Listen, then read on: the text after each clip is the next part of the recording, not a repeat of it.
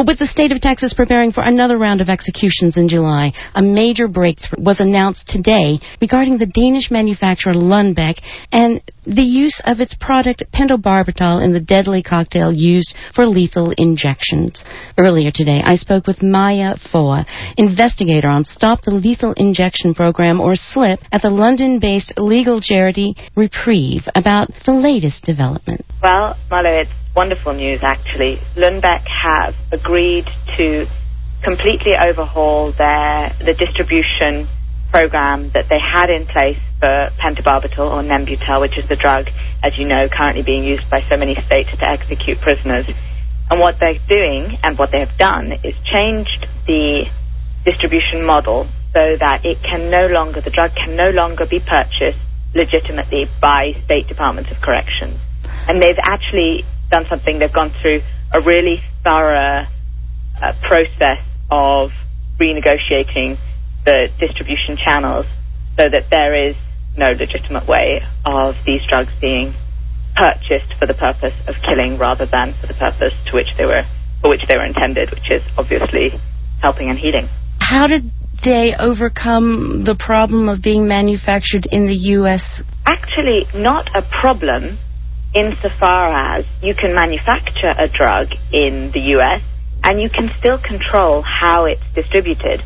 There's a lot of power that the manufacturer of a pharmaceutical product has to determine where it goes, when it goes there, to whom it goes, how it goes, how much they sell it for, what the agreements in place need to be with the people who purchase it.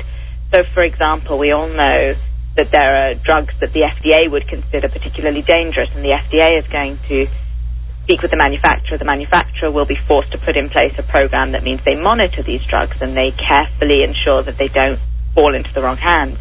Now, a manufacturer can do that independently of the FDA. They can say, we have a particularly high value drug, or we have a we have a high risk drug, or we have a high tech drug, and what we want to do is trace it and and watch it from source to end user and ensure that various things are being used correctly, or that people don't drop off the program, or various other things. Check out the side effects. So this is actually pretty standard in the industry, um, and there are specialty pharmacies which are, have been developed and are very, very sophisticated and advanced in the US in particular to deal with these issues and to facilitate any kind of program that a manufacturer might want. So what Lundbeck have done is found a specialty uh, pharmacy. They have decided to distribute using one specialty pharmacy. So they retain control of their product all the way through the supply chain. The one specialty pharmacy then drop ships the product, which essentially means that they deliver it direct to the hospital. There are, there are not lots of third parties involved who could then uh, filter the product through to you know other hands who might use it for illegitimate purposes. There are agreements then with the end user in place which say that the end user must not then sell onto prisons and that the product is not to be used to kill people. That's all good for the new distribution model, but what about any of these states actually use stockpiled material? Well, we have been looking into the quantity of drugs that Departments of Corrections currently have. From the information that I've been given, there are not there are not masses of these drugs in the hands of the prisoners, prison officials at the moment. Actually, they don't appear to have stockpiled enormously.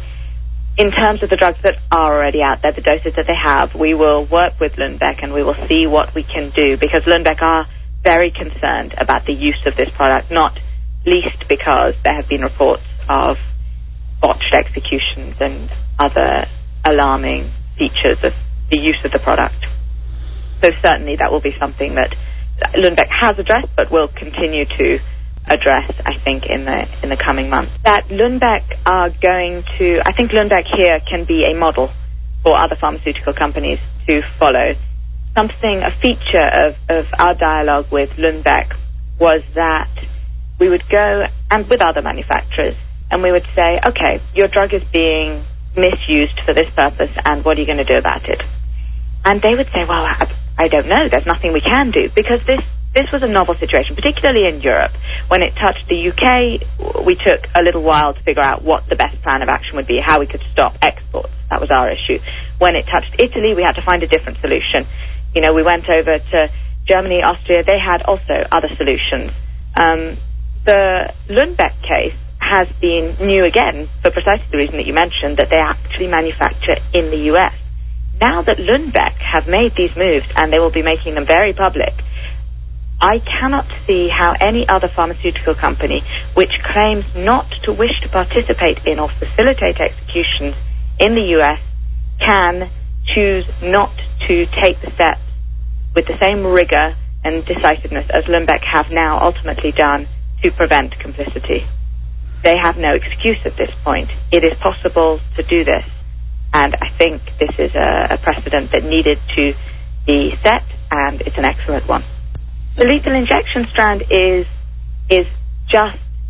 I mean, it's it's excellent in that we can make progress from Europe. We uh, most of the time in Europe we we can we can try to help and we can assist. You you have excellent lawyers in the US that take on these cases, but ultimately we're over here um, mm-hmm. and you're on the ground. But here there is something that actually it makes sense for us to work on. And of course, the, the pharmaceutical industry is globalized. Right. So um, I envisage you know, this going, this can continue. They can pick a, an American manufacturer, but the American manufacturer may have European ties, may have other ties with people who are anti-death penalty. It's a very interesting book to have. That it's it's it's good for us to be able to exploit that, and we're we're well positioned to do so in collaboration with with all of the great people in the US working on this.